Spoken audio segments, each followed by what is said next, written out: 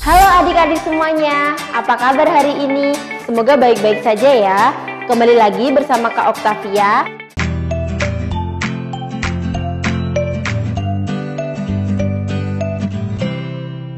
Hari ini kakak akan membahas mengenai perkembangbiakan hewan secara generatif. Namun sebelumnya kakak akan menjelaskan mengenai list materi apa saja yang akan kakak sampaikan yaitu yang pertama, apa yang dimaksud perkembangbiakan hewan secara generatif. Yang kedua, jenis perkembangbiakan hewan secara generatif itu ada tiga, yaitu bertelur atau ovipar, melahirkan atau vivipar, dan yang ketiga, bertelur dan melahirkan atau ovovivipar. Jadi, tonton terus ya, biar nggak ketinggalan. Langsung lanjut ke materinya ya. Apa itu perkembangbiakan hewan secara generatif? Ada yang tahu? Perkembangbiakan hewan secara generatif adalah perkembangbiakan dengan cara kawin, yaitu peleburan sel kelamin jantan dan juga sel kelamin betina. Nah, perkembangan hewan secara generatif itu ada tiga. Yang pertama adalah melahirkan atau vivipar.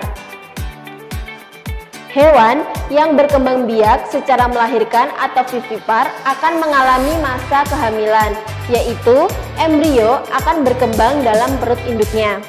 Nah, hewan yang berkembang biak secara generatif melalui melahirkan ini memiliki ciri-ciri di antaranya memiliki rambut, memiliki kelenjar susu, memiliki rahim, dan biasa disebut dengan mamalia. Nah, lanjut ke contohnya ya adik-adik.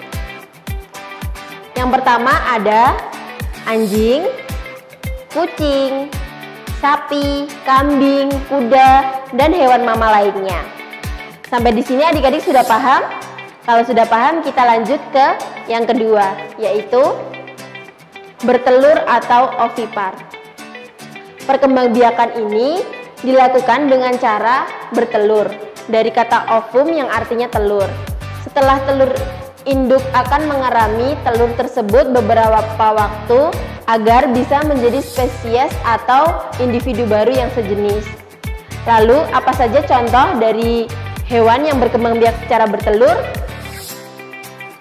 Yang pertama ada ayam, angsa, burung, ikan, dan hewan-hewan lain. Lalu, perkembangbiakan hewan secara generatif yang ketiga yaitu bertelur dan melahirkan atau yang biasa disebut dengan ovovivipar. Induk hewan akan bertelur namun tidak dikeluarkan dari tubuhnya. Telur akan tetap berada di tubuh induknya sehingga menetas dan akan dikeluarkan dari tubuh beserta cangkang yang pecah. Lalu, apa saja contoh hewan yang berkembang biak generatif dengan cara melahirkan dan bertelur? Yang pertama ada kadal, yang kedua ular, dan ini adalah penampakan ular yang baru saja dilahirkan oleh induknya masih dalam cangkang namun cangkangnya tidak keras seperti pada ayam namun sudah lembek sehingga tidak akan melukai ular tersebut. Jadi itulah penjelasan kakak mengenai perkembangbiakan hewan secara generatif. Namun jangan lupa buat like, komen, dan juga subscribe biar nggak ketinggalan updatean dari Halo Edukasi. Semangat belajar adik-adik!